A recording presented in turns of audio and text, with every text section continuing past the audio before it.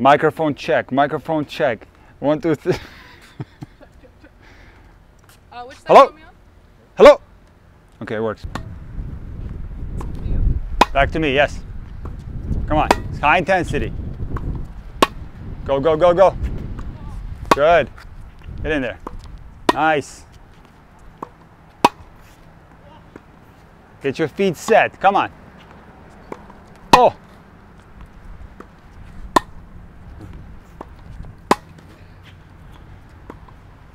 Good. Get up, up, up, up. Get up there, attack it. Nice job, Kay. Come in, Scala. Whoa,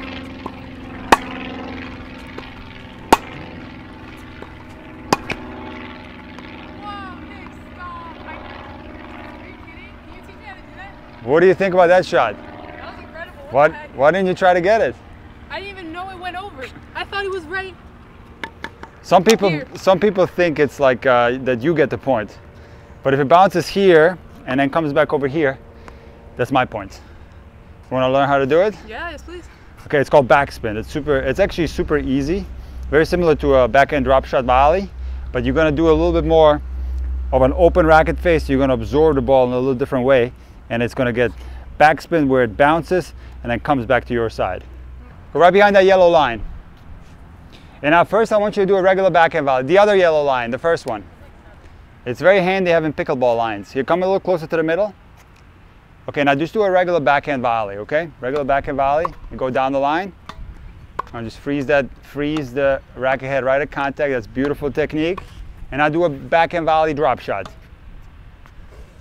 It's okay. Yeah, it's all right. Don't open the don't open the racket face too much. Okay, so that was beautiful. Do it again. Okay, uh, don't have to go down quite as fast. You want to more think about absorbing the ball in your string bed. You do need to go down in order to generate backspin, but let's just try to work on just the feel of it, the finesse of this shot, and just think about absorbing the ball, meaning that the racket can't go forward at it. It needs to go actually back a little bit, okay? There it is. You see that? Beautiful dropper. If you open the racket face too much, you'll catch, you're gonna catch the, the frame right here. So you wanna open it, but not too much. There we go.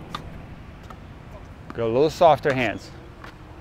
Okay, now, when it comes to backspin, the one thing that is gonna make more backspin is the incoming ball's pace. So if I hit it harder at you, it's gonna be a lot easier to make backspin.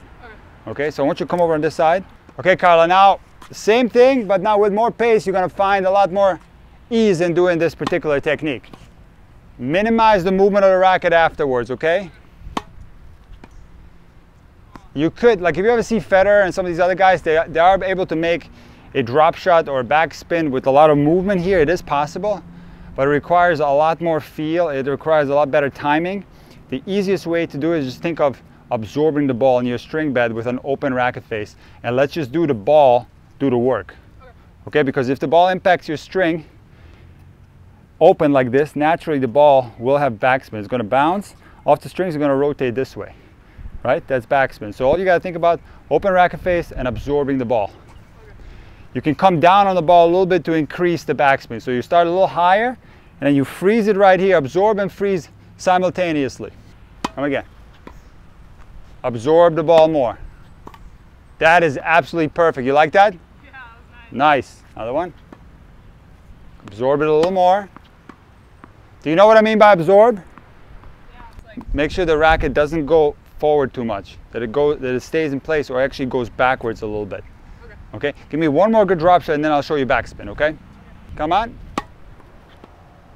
Maybe the best drop shot you hit so far. Beautiful job. Now, I'm not a big fan of doing drop shots with the forehand. It's possible, but it's the degree of difficulty is a lot more. Uh, people usually, when they get a forehand volley, eh, they get a little bit more movement here. And so you don't want to have any movement like that when you're doing drop shots. So it's a little bit more risky to do volley drop shots with the forehand volley. And even from the baseline, this is the case where a forehand drop shot from the baseline, is, the degree of difficulty is much higher than a backhand drop shot. So I recommend that you attempt to do volley drop shots mostly with the, with the backhand side. Okay. All right, so that was really good, okay? Quite easy, right? thank you. So now how do we do backspin? So you're gonna have to hit it the exact same way Yeah. because you already are making backspin. You are making backspin. But you gotta make so much backspin that the ball bounces on, the, on, on one side and then comes back to the other. So the easiest way to do that is to, number one, open the racket face a little more, but then also go down on the ball a little more so that the ball has a lot of backspin, so much that it's gonna bounce here and then come back to the other side. Okay, so you're gonna go like this, go a little higher, come at the ball with an open racket face, and then continue going down like this. Now, you don't wanna go forward too much. Uh, imagine having a wall in front of you right here. You don't wanna go through that wall, but more going straight down like this. So you're still absorbing the ball. You're not going through it at all. All right, try it out. I think you can do it, Karla. You're still going through too much. Down. Come on, open the racket face. The reason why it's not backspinning, Karla, because you're still going like, you're going like this. You gotta go this way, but open the racket face, this. Just position your racket like this. I'm gonna feed the ball right into your racket. Let's just see what happens. Just leave the racket like this. Right, watch this. You see, that's see how much backspin you're getting? So this is what you gotta focus on. Just maintaining this angle of the racket face and then going down, but straight down. Watch, straight down like this. Straight down. Feed me a ball. Straight down like this. Now I can't do it without pace here, but you gotta just focus on opening the racket face and going straight here. The more open, the better. Open it severely. Ah, nice try. Go again. That was a beautiful drop shot. A little bit more side spin than back spin. All right, here, feed me if you, I'll show you. Okay, see what I mean? I'm not really focusing on much other than absorbing, opening, and going down. Give me another one. Let me try again.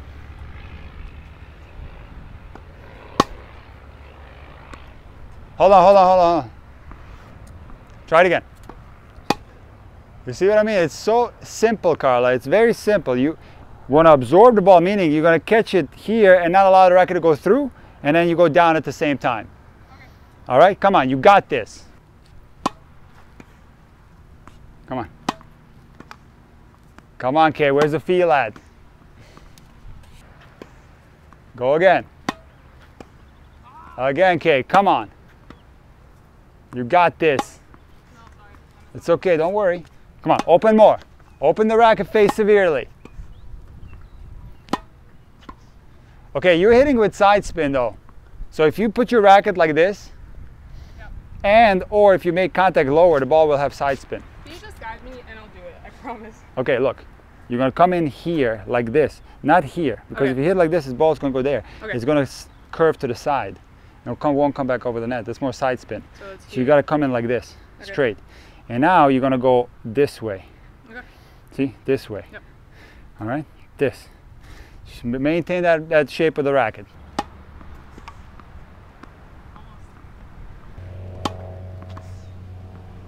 Oh, oh, oh.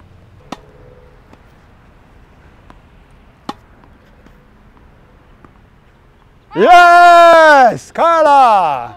Yes.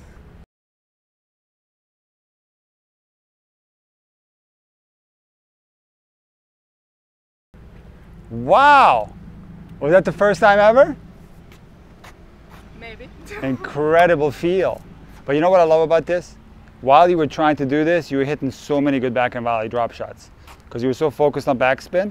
Even the ones that didn't go back over the net, there was tons of great drop shots there.